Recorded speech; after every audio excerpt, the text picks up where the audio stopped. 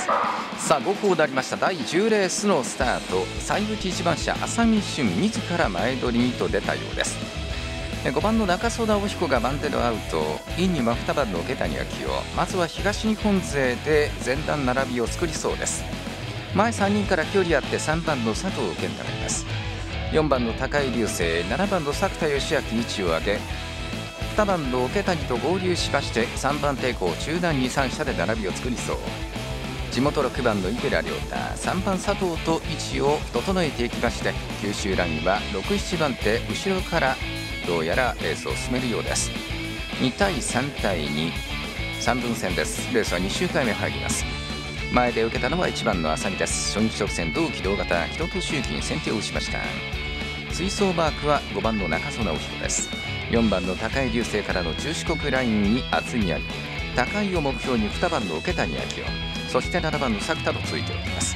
地元6番の池田の初日は人を里見を出しましたが銀詰まり嫌って先行と状況判断的確な走りでありました。3番の佐藤初日走は宣言通り積極策から3着に残っております。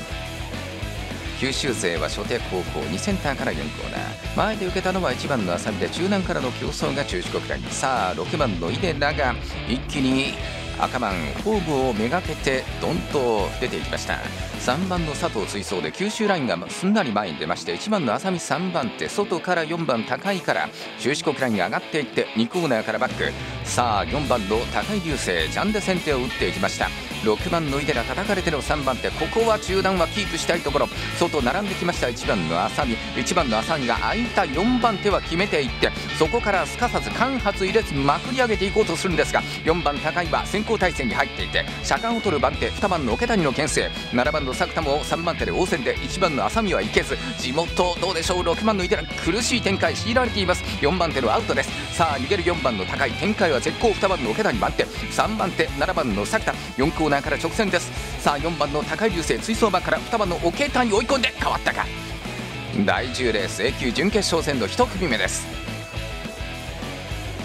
4番の高井がしっかりレースを作りまして2番の桶谷は番手で高マーク高連携足あるところを見せて最後は追い込んでいきました。2番の桶谷明夫。4番の高い踏ん張りましたがここはちょい差しといったところでしょうか。